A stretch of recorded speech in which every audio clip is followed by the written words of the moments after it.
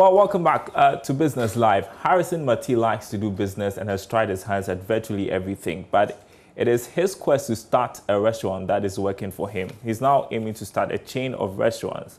On today's Business Van, uh, we are headed for 1115, which is becoming the place to hang out. To you by EcoBank, the Pan African Bank, and MTN everywhere you go.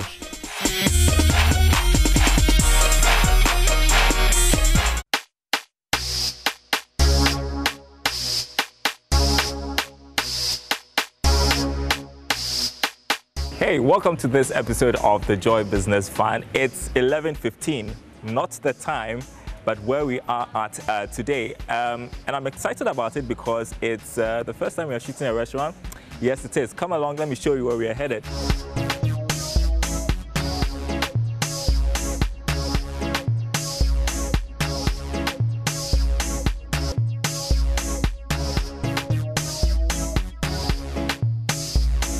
Hi Daryl, welcome. Good to see you. Yeah.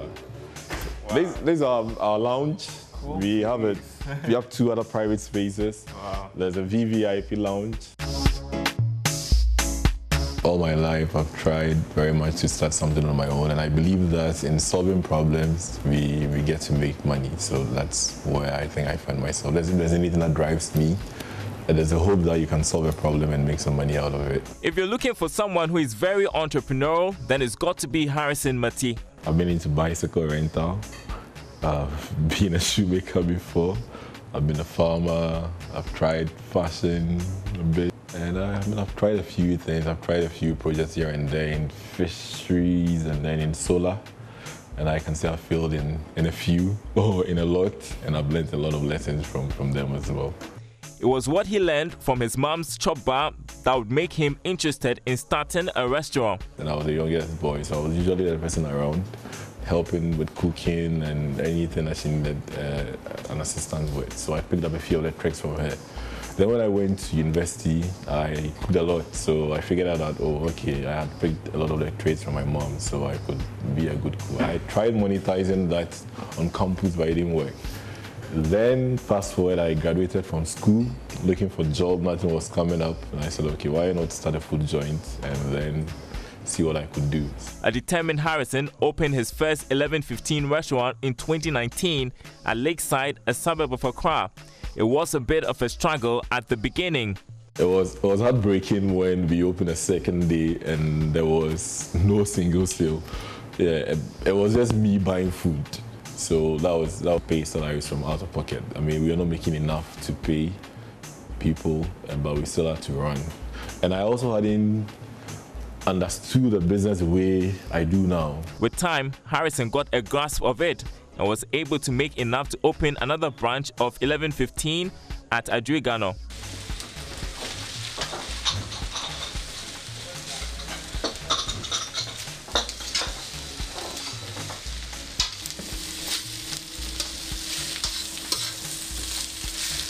Consistency in the kitchen is very important for Harrison. Once in a while, he steps in there. This is our signature dish. This is called a jungle rice. It's called jungle rice because it's more like you are in a jungle. Whatever protein, uh, snail, there's mushroom, there's sausage, there's goat, uh, there's chicken. Whatever protein is available, there's beef. Whatever protein you have available, you add to this. Our ciders, we, we do local dishes from Banku, Fufu, Omotuo, Ampesi. We run, we have local dishes on our menu. Continental, we have the fried rice, all the rice dishes that you can think of. But I'll recommend that anytime you come in, you try out. Or hold exclusive celebratory events with fun games and activities like painting and some good music.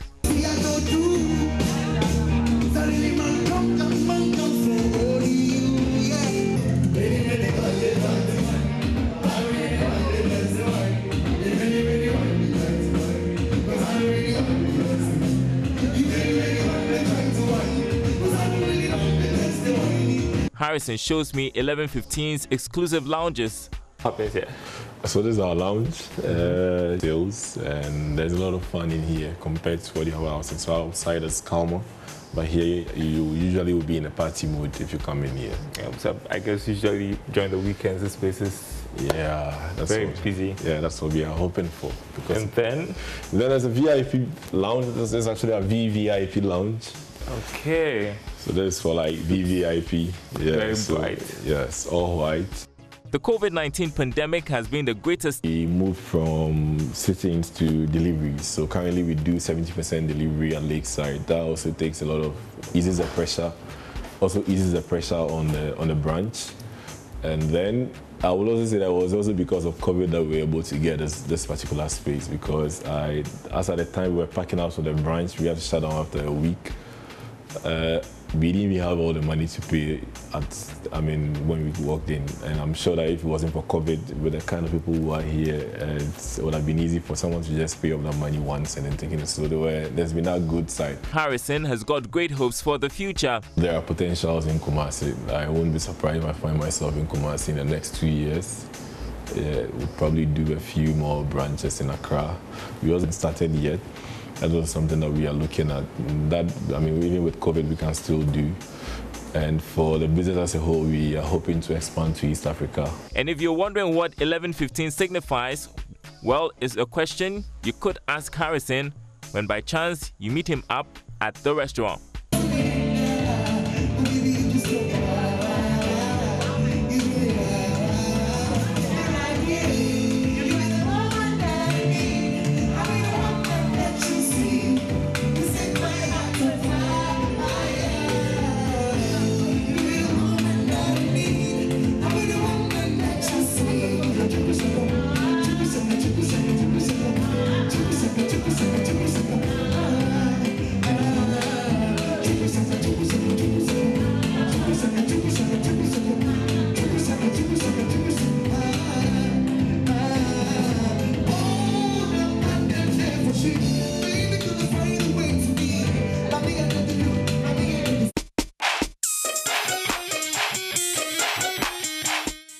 The Joy Business Van was brought to you by EcoBank, the Pan African Bank, and MTN everywhere you go.